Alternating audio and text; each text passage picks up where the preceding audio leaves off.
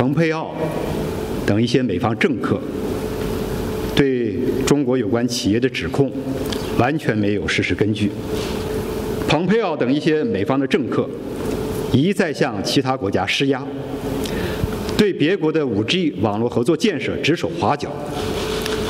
公开胁迫其他国家要服从美国的旨意，